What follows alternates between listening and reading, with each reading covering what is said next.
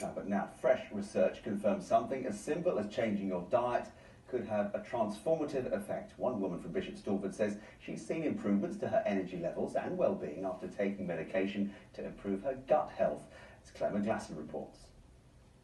As an alternative therapist, Carol Ann Barrett from Bishop Stortford is open-minded when it comes to health. But even she was amazed at the difference everyday ingredients have made to her long COVID. She took part in a trial at Addenbrooke's Hospital in Cambridge, which formulated capsules containing the friendly bacteria found in some foods.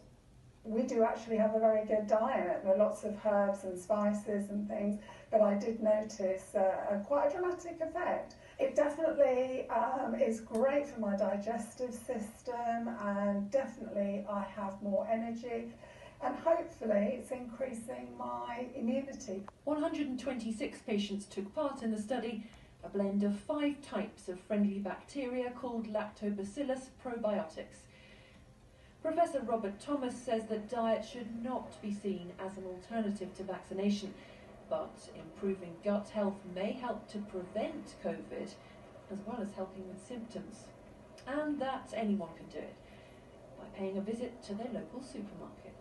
So I'm sorry it's a hard call just before Christmas, but reducing the sugar intake, excess meat, stopping smoking, exercising, eating foods with, uh, which are full of healthy bacteria such as kefir, kimchi, sauerkraut, and eating the foods which uh, they call prebiotics, which help to feed the healthy bacteria. So these would be your uh, artichokes, beans, uh, herbs, spices, and fibre-rich fruit and vegetables.